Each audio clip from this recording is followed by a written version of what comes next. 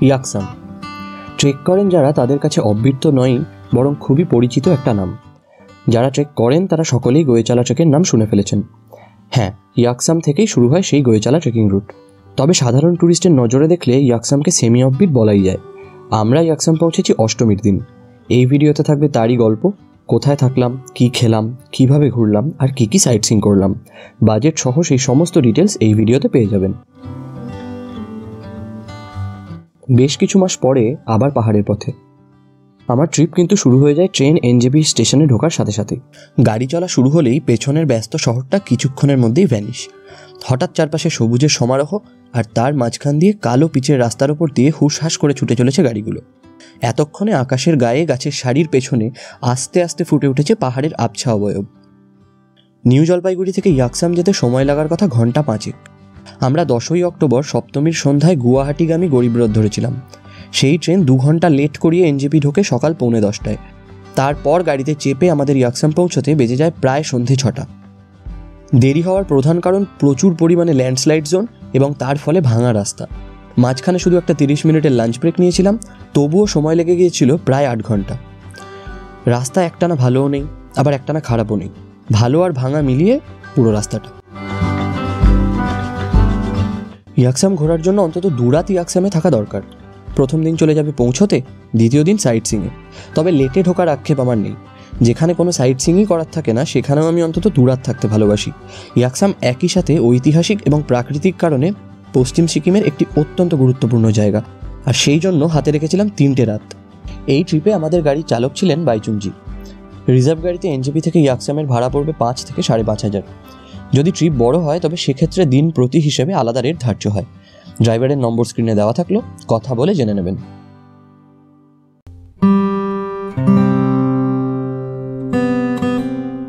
ইয়াকসাম বহু পরিচিত হলেও ট্যুরিস্টদের কাছে কিছুটা অফবিট সন্ধ্যায় পৌঁছে করতে পারেন বনফায়ার বা বারবিকিউ অথবা বাজারের কাছে হোমস্টে হলে ঘুরে আসতে পারেন বাজার থেকেও।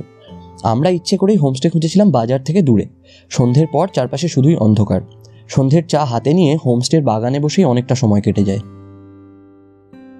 আমরা ছিলাম চুংদা হিডেন হোমস্টেতে।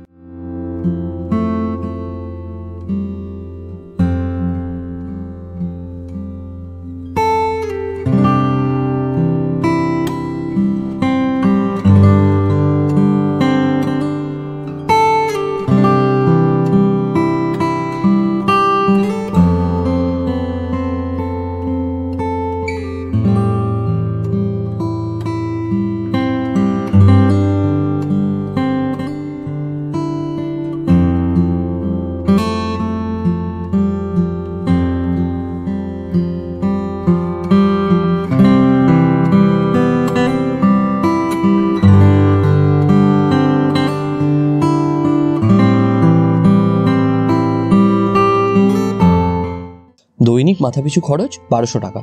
এর মধ্যেই থাকবে ব্রেকফাস্ট বিকেলের চা এবং ডিনার ট্যুরিস্টরা সাইট সিং করতে সকালে বেরিয়ে যান এবং বিকেলে ফেরেন। তাই লাঞ্চ এখানে সার্ভ করা হয় না।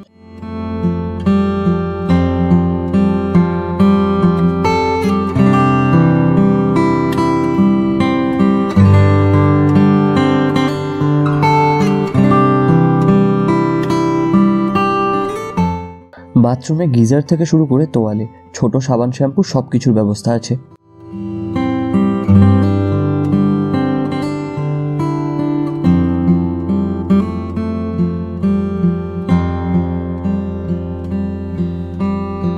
এখানে ঘর আছে সব মিলিয়ে পাঁচটা।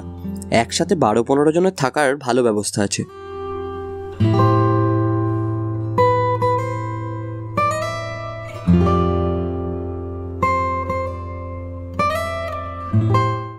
এছাড়াও খাওয়ার এবং আড্ডা দেওয়ার জন্য আছে ডাইনিং রুম।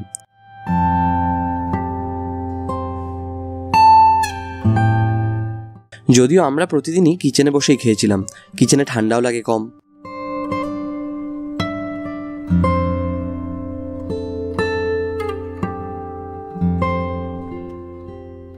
ব্রেকফাস্টে পেতে পারেন পুরি থুকপা বা সেল রুটি ডিনারে পেয়ে যাবেন রুটি বা ভাত, সবজি বা চিকেনের সাথে।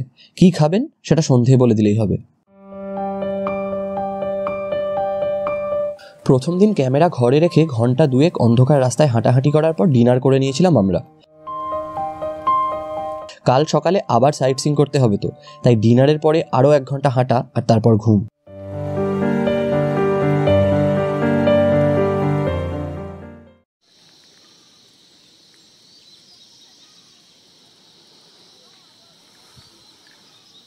পরদিন সকালে উঠে হাঁটতে বেরিয়ে হোমস্টের খুব কাছেই একটা দোকান আবিষ্কার করেছিলাম।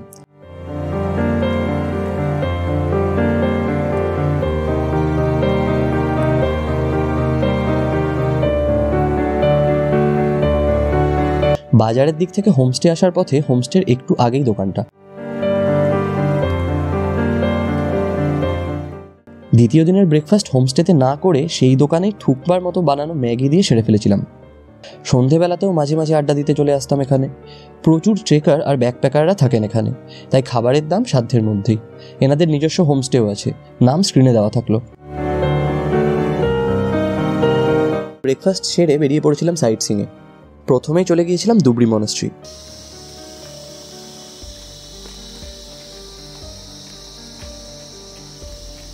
হোমস্টে থেকে গাড়িতে সময় লেগেছিল মিনিট দশেক।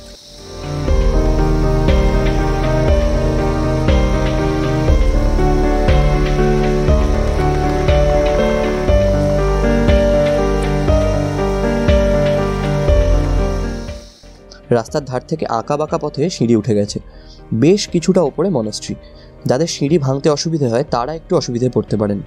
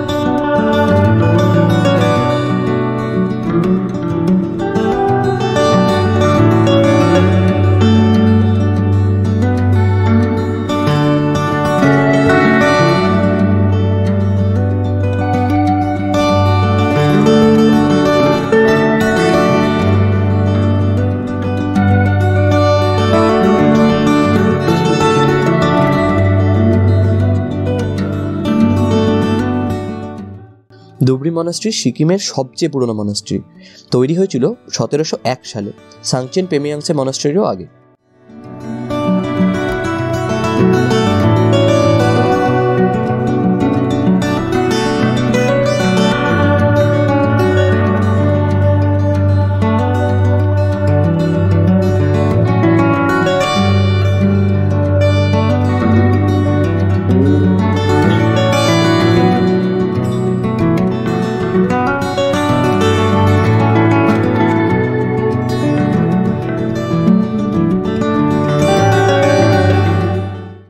যেই সিঁড়ি ধরে মনাশ্রী দেখতে উঠেছিলাম, তার শেষ মাথা থেকে দুটো পাথরের রাস্তা দুদিকে চলে গিয়েছে। বাঁ হাতের রাস্তা যাচ্ছে মনাশ্রীতে, ডান হাতের রাস্তা চলে যাচ্ছে বুদ্ধিস্ট ক্রিমেশন গ্রাউন্ডের দিকে। মনাশ্রী দেখার পর নিচে নামা সিঁড়ি না ধরে উল্টো দিকের রাস্তাটা ধরে আমরা চললাম সেই দিকে।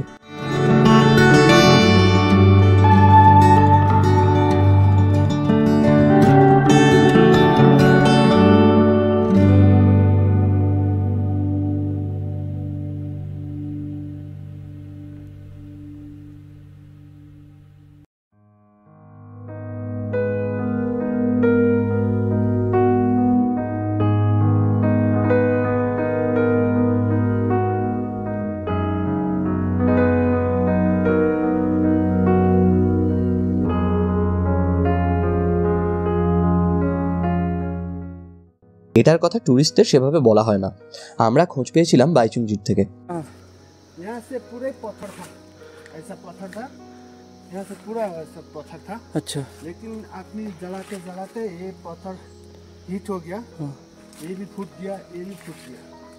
দুটো বিশাল আকায় পাথরের মাঝখানে চুল্লির মতো ব্যবস্থা। আগুনে তেতে আর বৃষ্টিতে ভিজে এই সুপ্রাচীন পাথরের ওপরের দিকটা ভেঙে পড়েছে অনেকটাই।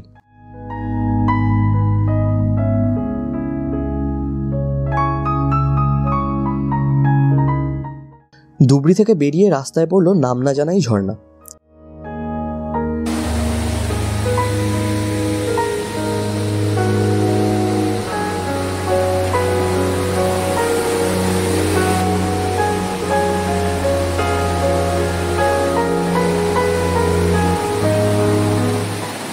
ঝর্ণার ছবি টবি তুলে আমরা চললাম কথক লেক ইকো পার্ক দেখতে। এখানে ঢুকতে টিকিট পড়েছিল কুড়ি টাকা করে। তবে পরের দিন আমি যখন কিছু ছবি তোলার জন্য আবার ইকো পার্কে যাই, আমার কাছে আর টিকিট চাওয়া হয়নি। আগের দিনের কাটা টিকিট দেখিয়ে বলেছিলাম যে আমি গতকাল এসেছিলাম, তাতেই ঢুকতে দিয়েছিল।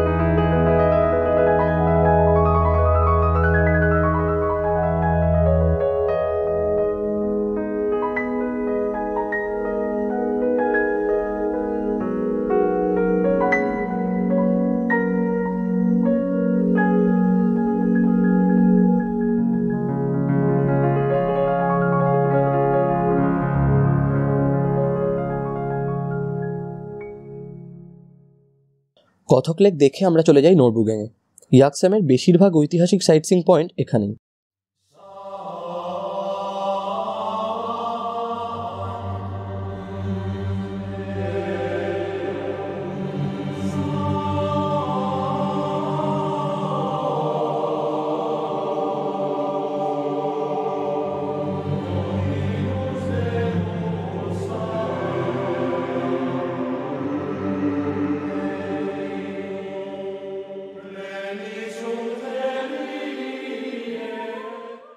প্রথমেই দেখে নিলাম করোনেশন থ্রোন যেখানে টিবেট থেকে আসা তিনজন মঙ্কের দ্বারা সিকিমের প্রথম রাজার রাজ্যাভিষেক হয়েছিল।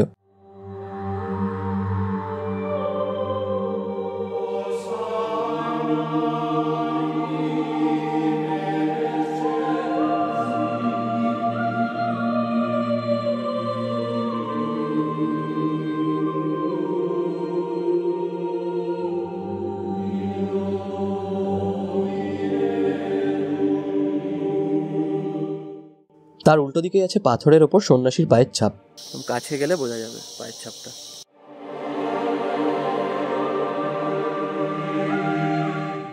এখানেই আছে বিশাল এক চড়তেন কথিত আছে সিকিমের সব জায়গার মাটি এনে তৈরি করা হয়েছিল এই চড়তেন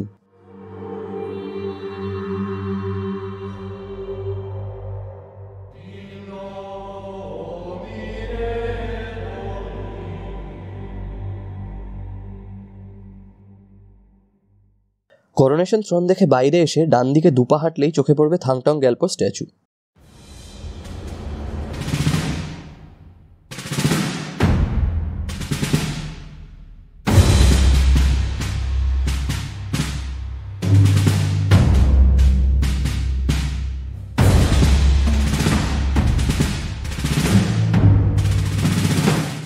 থাংটং গ্যাল্পো বা চাকজাম্পা একজন বুদ্ধিস্ট মহাসিদ্ধ যাকে আয়রন চেন মেকারও বলা হয়।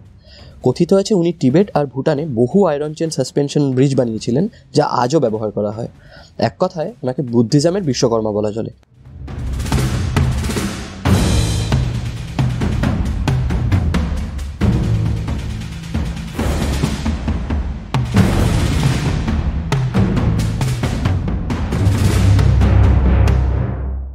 ওনার স্ট্যাচুর নিচেই আছে বিশাল এক মনাস্ট্রি সেটাও ঘুরে দেখেছিলাম।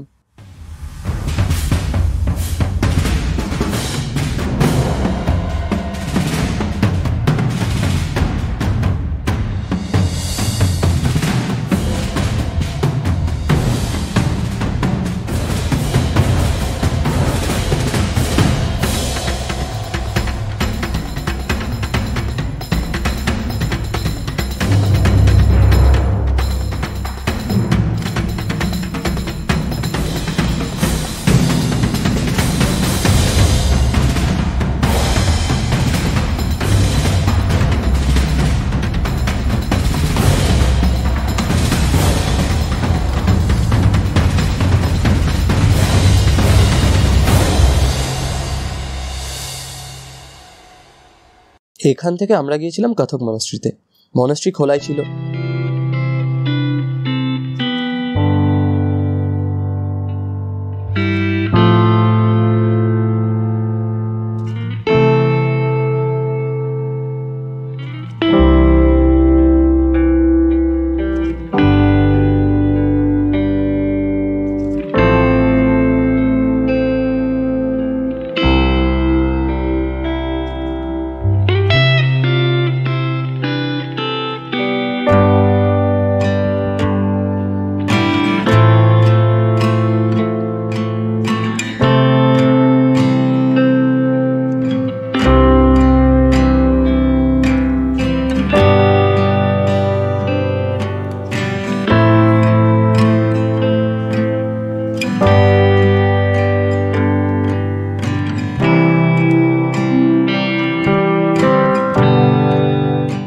কিছুটা সময় কাটালাম এনার সাথে।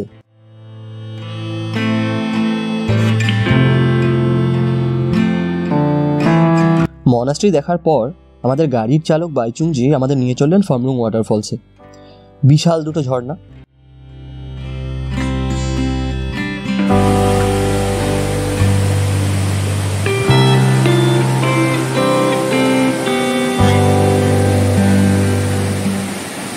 আমরা ট্রেন ধরেছিলাম সপ্তমী রাতে।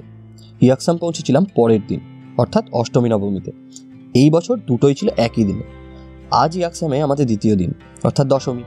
ঝর্নার সামনেই কেউ দুর্গা প্রতিমা বিসর্জন দিয়েছেন।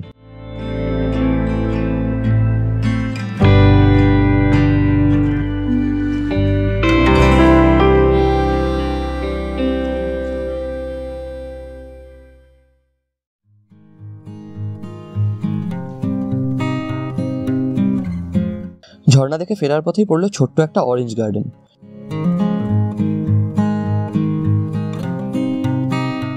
গাছে সবুজ সবুজ লেবু হয়ে আছে, কয়েকটা পেকে ঝরে পড়েছে নিচে।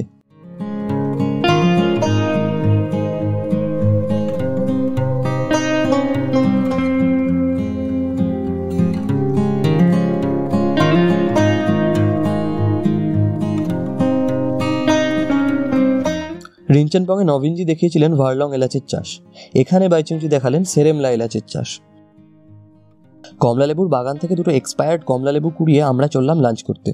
লাঞ্চের জন্য দেরি হয়ে যাচ্ছিল অনেকটাই। ঠিক করলাম, বাকি সাইট সিং করব কালকে।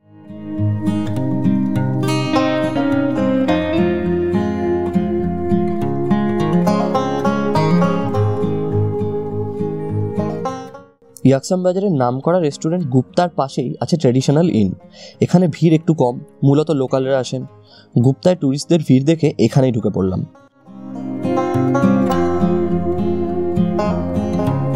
এখানে চিকেন, পর্ক, বিফ সবই পাওয়া যায়। আমরা মোমো, থুকপা আর কোল্ড ড্রিঙ্কস দিয়ে লাঞ্চ সেরে ফেললাম। বাজারের পাশেই আছে প্রার্থনা গৃহের মতো দেখতেই ঘর, যার ভেতরে এ প্রান্ত থেকে ও প্রান্ত অবধি আছে শুধু বিশাল বিশাল মানেলাখাম বা প্রার্থনা চক্র। সিকিমের আর কোথাও একসাথে এতগুলো এত বড় মানে লাখাম আমি দেখিনি। পেলিংয়ের সাংচেন পেমিয়াংসের মনস্ট্রিতে এর থেকেও বড় একটা মানে লাখাম দেখেছিলাম, তবে সেখানে একটাই ছিল।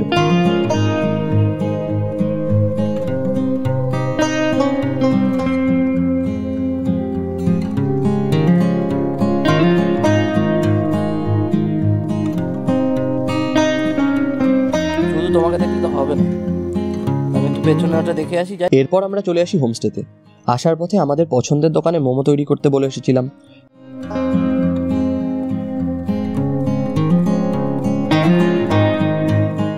কিছুক্ষণ এদিক ওদিক ঘুরে চললাম মোমো খেতে।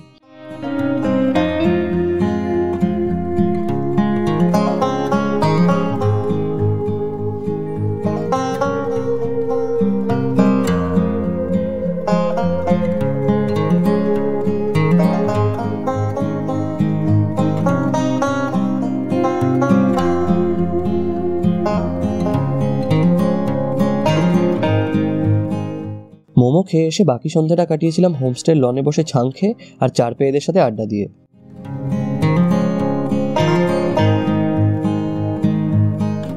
ডিনার করে নিয়েছিলাম তাড়াতাড়ি। পরের দিন আরও সাইট সিং বাকি, যার মধ্যেই ছিল বিখ্যাত গোয়েচালা চকের প্রথম checkpost of the hike.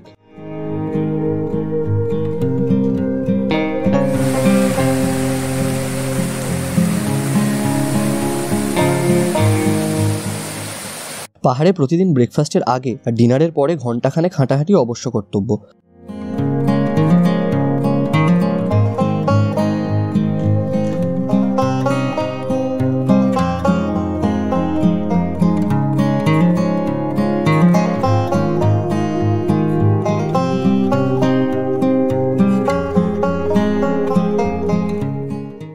Climate চেঞ্জের প্রভাব পাহাড়েও স্পষ্ট।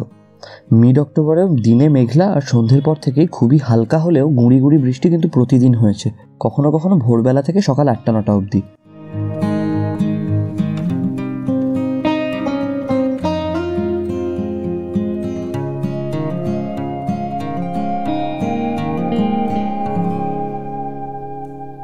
সকালটা কেটেছিল আশেপাশে ঘুরেই। তারপর হোমস্টেতে ফিরে প্রথমে চা আর তারপরে ডিম দিয়ে থুপ্পা স্টাইলে বানানো ম্যাগি খেয়ে বেরিয়ে পড়েছিলাম আরও কিছু সাইট সিং করতে।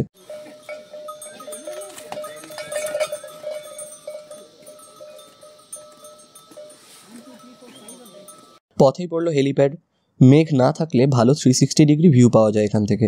কিছুটা ওপরে দেখা যাচ্ছে হোমস্টেও।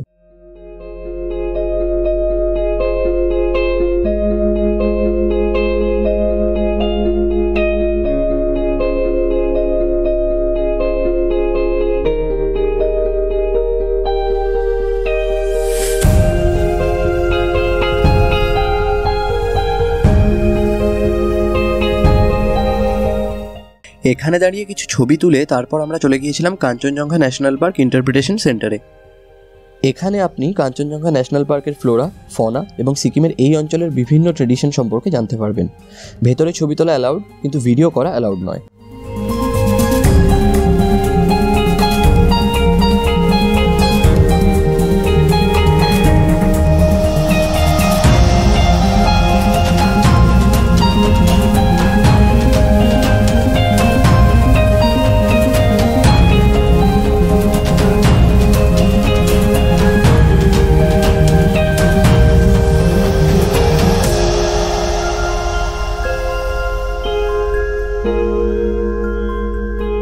এর ঠিক উল্টো দিকেই বাইচুংজির বাড়ি।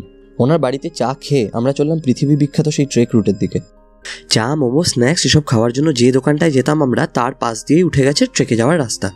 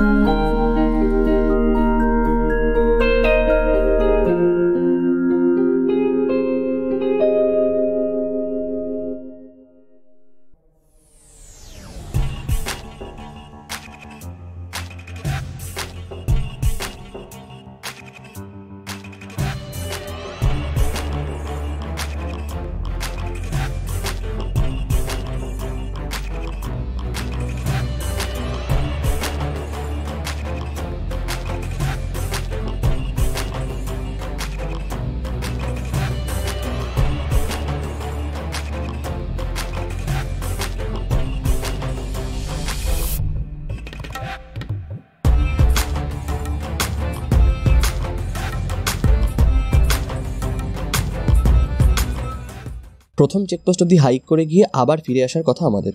যেতে সময় লাগে পঁয়তাল্লিশ মিনিট মতন, তারপর সেম রুট ধরেই ফিরে আসা। পথে পাবেন অসাধারণ সব ভিউ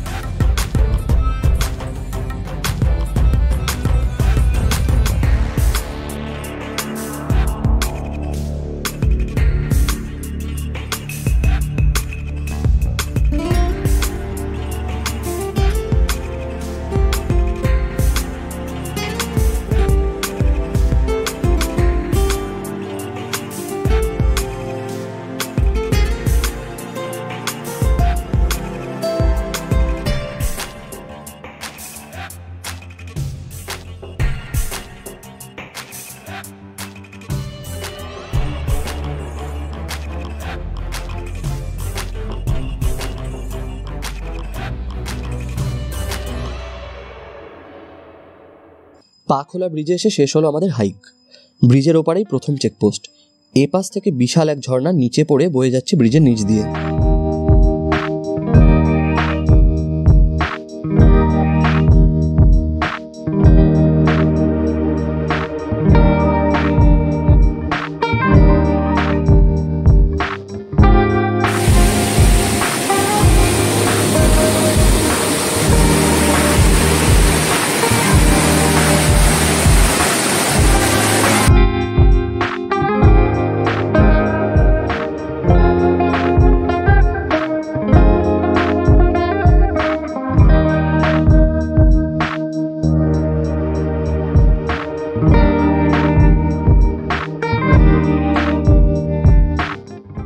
আসার পথে দেখা হলো অনেক ট্রেকারের সাথে।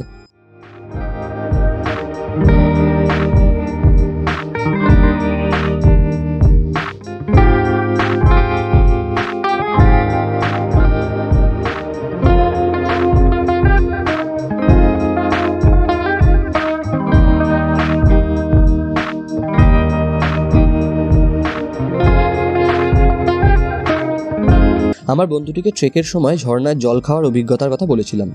এটাই তার প্রথম হাইক এখানে ঝর্ণার ঠান্ডা জল এত মিষ্টি আর তার এতটাই ভালো লাগে যে ফেরার পথে আমরা কেনা জলের বোতলের জল ফেলে দিয়ে ঝর্ণার জল ভরে নিই।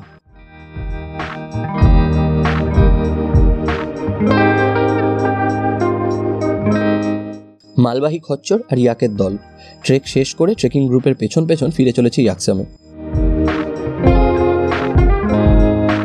ইয়াকসামে আমরা ছিলাম তিন রাত। রাস্তার কন্ডিশন আর জ্যামের জন্য ইয়াকসাম পৌঁছাতে এখন সন্ধেই হচ্ছে।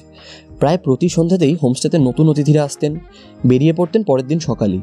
যাওয়ার পথে দেখে যেতেন দুবরি মনাস্ট্রি আর নরবুগ্যাংয়ের সাইট সিং এইভাবে এক রাতের প্ল্যানে ইয়াকসাম এলে সম্পূর্ণ ইয়াকসাম সাইট সিং করা আর ট্রেক রুটে হাইক করার সময় হবে না।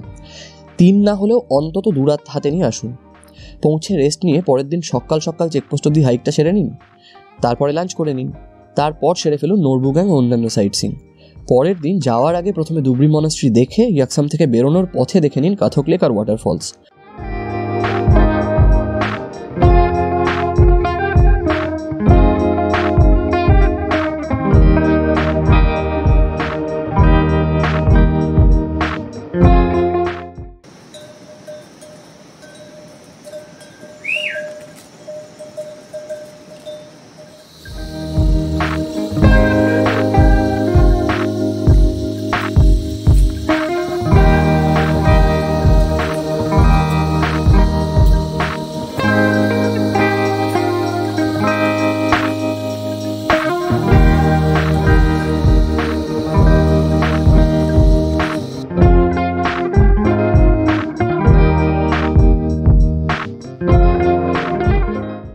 হাইকিং শেষ করে আমরা চলে গিয়েছিলাম লাঞ্চ করতে। আজকে ভিড় মোটামুটি কম দেখে ঢুকেছিলাম গুপ্তা রেস্টুরেন্টে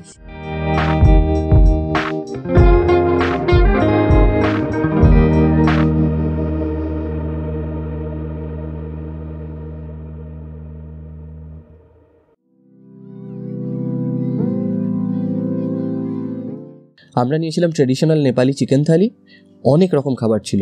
স্বাদও বেশ ভালো।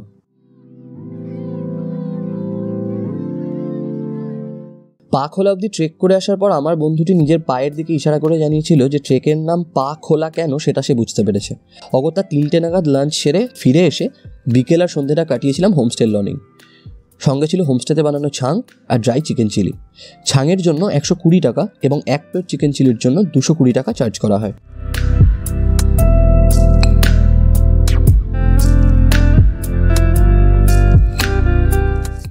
নটা নাগাদ ডিনার সেরে শুয়ে পড়েছিলাম আমরা।